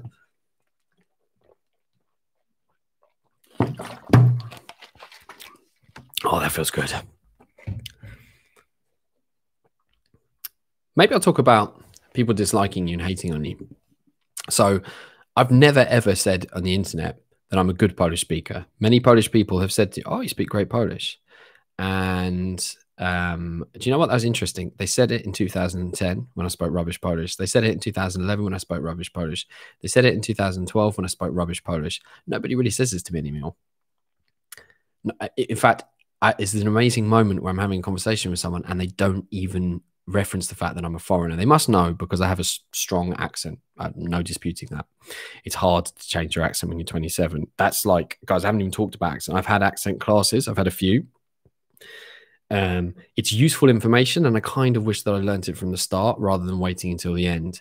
Because, for example, and the way that I pronounce e and uh, is very, very different because your tongue, through childhood and all, all the years that you've lived your life up until you learn Polish, these are muscles. So you need to retrain the muscles of your mouth, where you position your tongue in your mouth, how you, wh what part of your palate, um, the top of your mouth, your tongue touches. All of these things are going to impact your accent. Um, maybe one day I'll do a episode, by the way, with um, a lady who I used to do accents uh, with. I've worked on it a little bit, but not very much. So people were telling me my Polish was great. Was it great? No, objectively, it wasn't. I hadn't passed any exams. I wasn't able to work in the language. I'd only been doing it for a couple of years. So I would also ignore that praise and just focus on what you know. Your objective is to move from A1 to A2, B1 to B2, C1 to C2, focus właściwie. Focus. See, that's like one of those moments where the word just comes in. Focus właściwie on. Uh, so focus actually on the things that you got ahead of you. Um, I would discount both praise and criticism because you shouldn't have the language approach that your progress is measured by other people's opinions of you. I've got people on the internet who literally laugh at my Polish uh, and say it's rubbish. How can you listen to this, people? And I don't take a blind bit of notice. Not, I'm not telling you this because I want to praise myself. It's all about mindset. I'm not here to to focus on other people's um, uh, impression. Vonatar, but Paddy, watching your interview with Morawiecki, the Polish Prime Minister, that's how you know your Polish is amazing. Vonatar, I'm going to tell you an interesting fact about that I've never talked about. I knew I was going to interview the Polish Prime Minister. I found out Thursday. The interview was meant to be on Sunday. Whoa, okay. Finally managed to, to, to get an interview with him. They didn't know what language it was going to be in. And I'm like, guys, I need to know because if this is in Polish, I, I've, I've got to think about this, you know? And then they said it'll probably be in English. And then on the day, as I'm traveling to get to the interview, and I was late and in a rush, and I almost missed the train, super stressed, drenched in sweat. On the day, they said, "Oh, it might be in Polish," and I'm like, "What do you mean it might be in Polish? I've, I've, I can't, I can't interview the Polish prime minister. I what? Ah!" They said you'll have to just decide with the prime minister. So we went in there. I met the prime minister, and and I said, Prime Minister in Polish. I said, Prime Minister, musimy podjąć decyzję. We need to decide, do we do this in English or Polish? And he said, well, what do you think? And I said, I said again, I had a choice, and you will have this choice in many different moments. The same choice I had with the Polish Prime Minister. Do I do the thing that's easy for me, or the thing that's hard for me? And I said, well, we can do this in English, but since this is an exclusive interview, it's talking about his time in fighting solidarity. I don't care about your political opinions. It was just an interesting story. Uh, but since this is the first time you talked about it, it's probably best to get this message out to a Polish language uh, audience. So we said, okay, let's do it in Polish. And uh, Vonatar, I was literally dudes like, oh, sugar. Okay. I didn't prepare any questions in Polish. I haven't had any time. I've been in a rush, drenched in sweat, like physically exhausted by three days of non-stop work. Let's just go for it. and what you see on my face is me literally trying to think of the questions in Polish that I had in English and all these other kind of things. Uh, this is where you know that you're consciously, uh, unconsciously competent because you're able to transition from one language to, to the next. Um, Tomasz, the reason why your Polish may be better after a short break may have to do with the fact that our brains need some break to properly organize information. Absolutely. I think you've touched on a on a really important issue here, which is learning is not a painful experience. It shouldn't be hard. The reason why you have this approach is because our childhood and our education at school was based on the fact that if you don't do it well, you get punished. Your punishment is a worse grade. Your punishment is the teacher shouting at you. Your punishment is your parents shouting at you. And deep in our minds, we have this impression that if we're not suffering, we're not learning. Learning is meant to be fun. And also, we learn best when we rest. So if we work for 18 hours a day, we're not more effective. We don't get more done, we get less done. We know this, but we still attribute hours in with hours out. So resting your brain, um, I absolutely think is, is a great idea.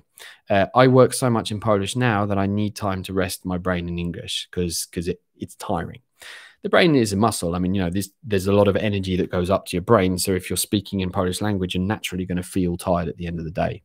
If you work yourself into the ground, your Polish will naturally be worse because you're tired. Let's keep going. Let's have a look at what. Um, let's have a look at some more questions. Uh, just join choirs that sing in Polish. Great way to study diction. Uh, organic organist. Awesome point, my friend. Singing is better than um, uh, speaking.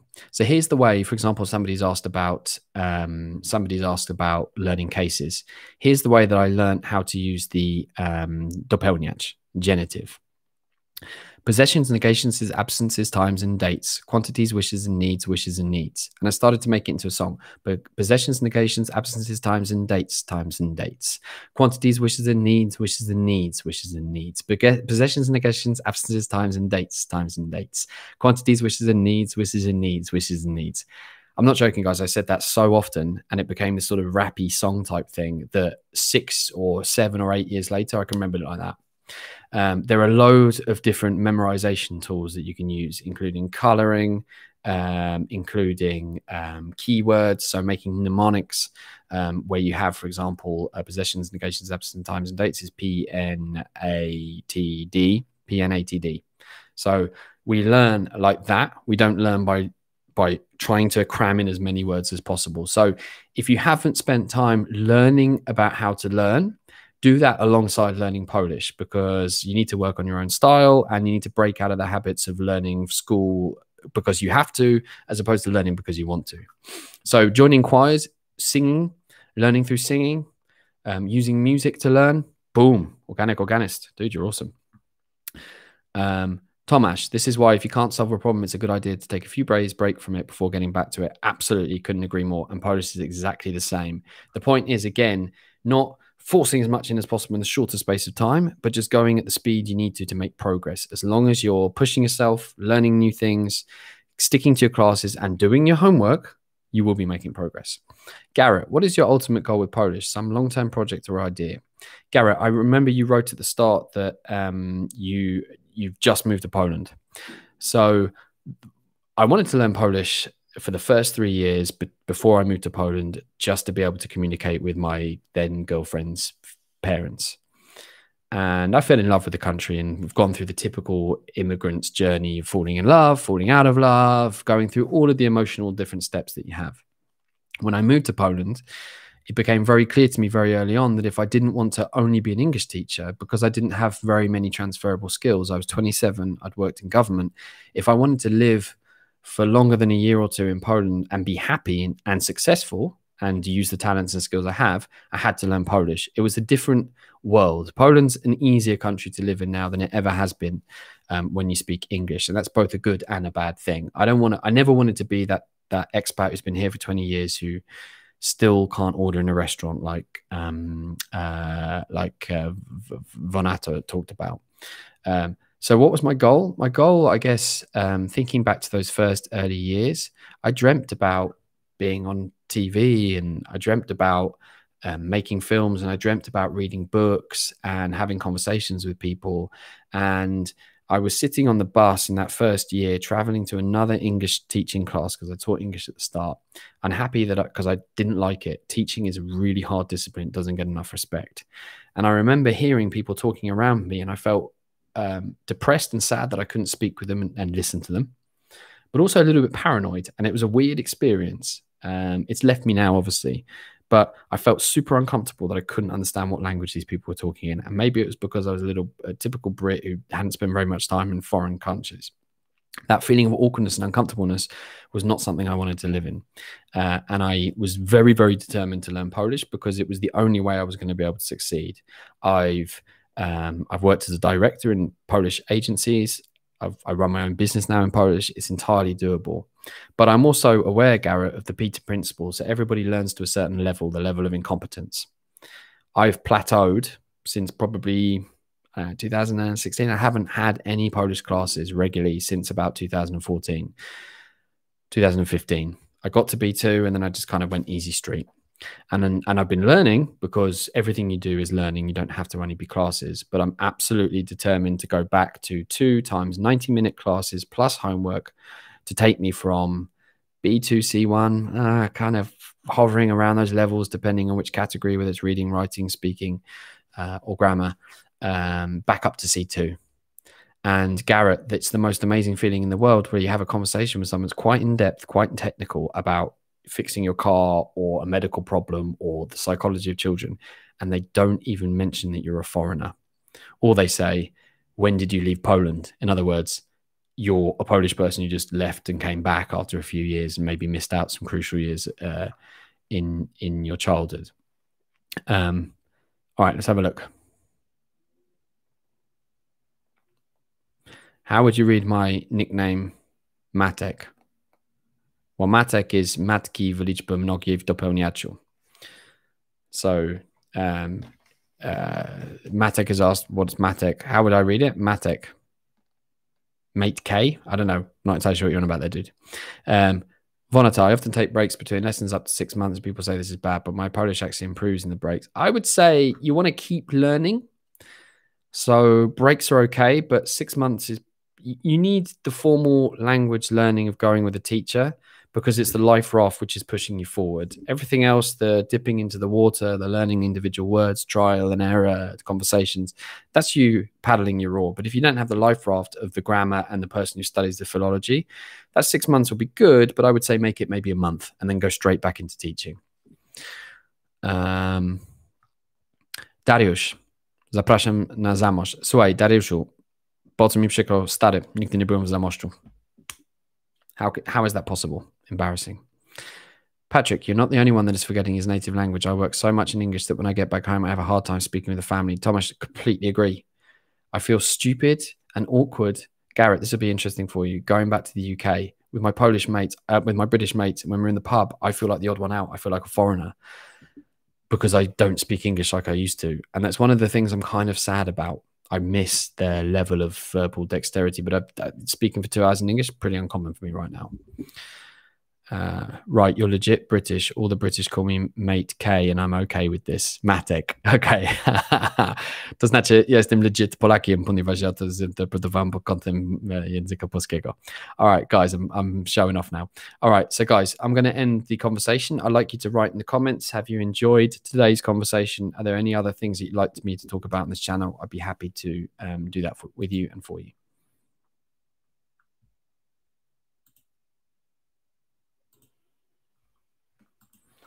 I'm going to have a sip of water. I'm super proud of you. You can also share this episode with anyone you think might be learning Polish. If they've got almost two hours to learn, I think they could get a lot of benefit out of this. Matthew, dang, just joined now. Don't worry, Matthew. I'm going to publish this live. It's going to be on my channel forever, so you can go back and watch it. We've had 15 top tips. There's a lot in there. Emmy, I am learning Polish via Rosetta Stone. What are your thoughts on this? Emmy, I, I didn't have all of those things. So I'm not in a position to uh, to measure them. But again, if you feel like you're making progress, if it works for you, fine. You know, don't do what I say, do what works for you, but learn to learn. Garrett, thanks, Patrick. This has been massively helpful. Awesome, dude. I'm super happy. I really appreciate it. Organic Organist, I thank you, my friend. Bardzo dziękuję. Pozdrawiam z Warszawy. I'm in Warszawie w tej chwili. So, in Ursynów uh, where my journey in Poland started. And I remember saying, I will never move back to this dzielnica in Warsaw ever again. And 10 years later, here I am. So what do you know? Uh, grand, I'll rewatch it. So, all right, Matthew. okay, guys. So give me some feedback. What did you like? Um, are there any other subjects that you'd like us to cover? I'm super glad. Świetny accent. Justina, oh my God. Oh my God. Justina has the longest, hardest language uh, language surname. Let's do. Let's have some fun with this right now. O, cholera. Ja, nie, no po dwóch godzinach ja potrzebuję przerwy, zanim to staje. Do you drink? Do you, ah, one last topic, my guys. Do you speak better Polish when you're slightly drunk? Yes, you do. Why is that? Because as you get drunk, your inhibitions, those doubts and fears and things that are holding you back that are up here, melt away. And at least for a bit, you are who you truly are you're actually the language speaker you could be if you got rid of those mindset issues. The answer is not to Dziękuję za wsparcie Władysławie. Oh, you're that guy. Okay, okay. Because you wrote Władysław in Instagram. I was like, what the hell is that? Uh, Filip Popolsku, um, thank you. Uh, uh, thanks, Patrick. I'll definitely get caught up on the rest of the stream. Thank you, dude. Really appreciate it. Michal, same in any foreign language. Absolutely agree. Same rules apply. Justina's last name isn't real; it's from a movie. Yeah, it's that. I, I, I know what I do now. Uh, all right, guys. Fajnie się oglądało. Nie spodziewałem się tego, że będę tego oglądać do samego końca. How I started the Second World War comedy. Yeah, exactly. Uh, all right, guys. Super grateful. Thank you very much for joining me. Please do share this stream with anyone you think might be interested in learning Polish. I um, am so happy I've been able to share 13 years of accumulated thoughts. And again, it's not about me, it's about um, uh, you guys being the best version of yourself you can be and fulfilling your potential to be po prostu zajebiście, zajebiści mówcy w języku polskim. Da się jak najbardziej. You can do it. I believe in you. All right, guys. Thank you very much. Um, I've really appreciated spending this time with you. Really appreciate it. So this video will be published shortly and I'll see you online.